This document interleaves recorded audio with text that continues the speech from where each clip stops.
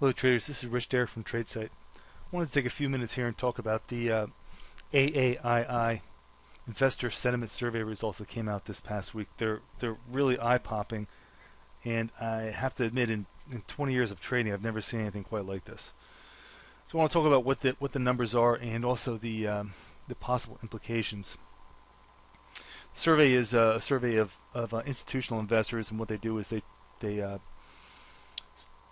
kind of kind of say where the, what what their outlook is for the market six months from now. So what they do is they pull them and then and they say they're either bullish, neutral, or bearish on the market on where the market will be six months from the time of the polling.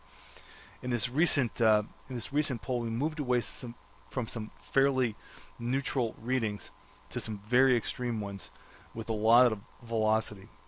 As you can see, the bullish respondents dropped by 16%, which is the biggest move I've ever seen. There's only 19% now who are bullish on the market, where the market's going to be six months from now. The neutral column, which usually uh, is somewhere around 30%, dropped by 10%. Now, most of these uh, folks who dropped out of the bullish and neutral went straight to the bearish camp. Bearish camp swelled by 26%, up to 54.5%, which is usually what you see near a market bottom. This is a contraindicator. Usually when people are getting very, very bearish, that's when you're approaching a market bottom. When you get a huge number of bulls, that's when you're uh, approaching that euphoric and climactic top where everybody's already in the market and everybody's very, very confident the market's going to keep going. We're at new highs in the market here, but as you can see from the numbers here, we have kind of just the opposite of what you would typically see, and this is really, really uh, unusual. We scroll down and take a look at, at what you typically see. The long-term averages here, you know, are somewhere around 30% for all of the uh, all of the all the three camps: the bullish, the neutral, and the bearish. And the changes from last week are just absolutely dramatic, absolutely dramatic. So let's uh, let's take a look at you know a, a longer term chart of the S&P and see what the implications might be. And this chart will just highlight how unusual these readings are.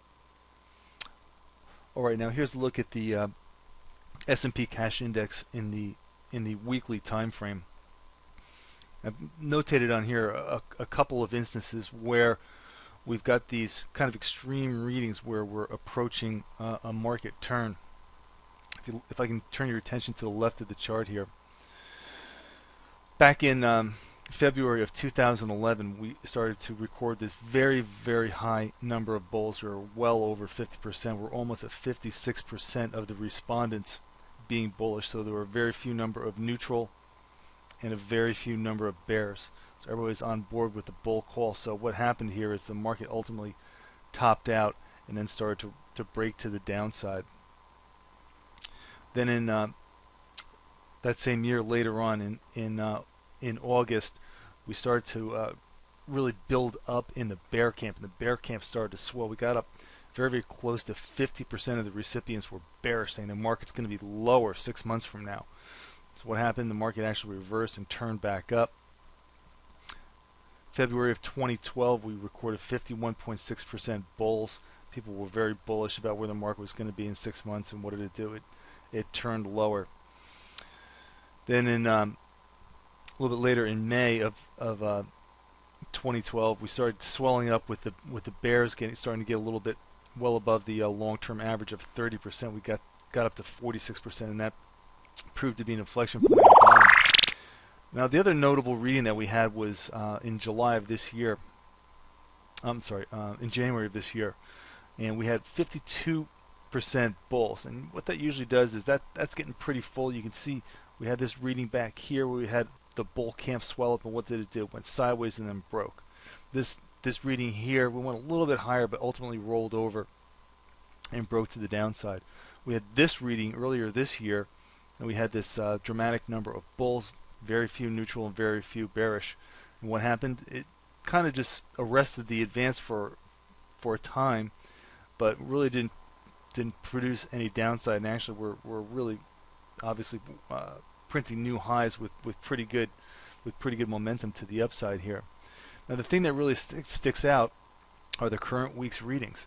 We're at 19% bulls. I almost wonder if this is a misprint because this is I've never seen this before, and this being a contraindicator means that there's plenty of room for people to get back into the uh, into the bull camp and uh, ultimately make a top. But for now, there's this implies that there's room to the upside, which is really highly unusual and kind of disengaged.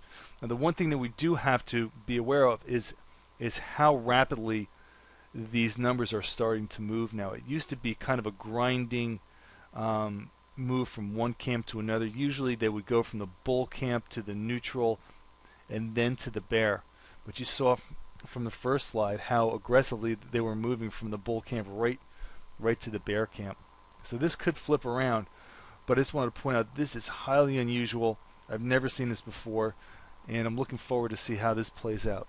And I think what you need to do going forward while doing your technical analysis also, especially when you're doing in your internal and intermarket analysis, is to make sure that you have this kind of figured into the mix. Is this setting the table for a dramatic squeeze to the upside in a parabolic move? Well, if you're going to see a move, parabolic move to the upside, you know you would not want to see a, a, a very large number of bulls um, already there. Uh, so I have to say that this kind of cracks the door open. It perhaps sets the table for that, but time will tell. All right, folks, I just wanted to uh, bring this to your attention. And as always, thanks for listening. This has been Rich Derrick for Tradesight.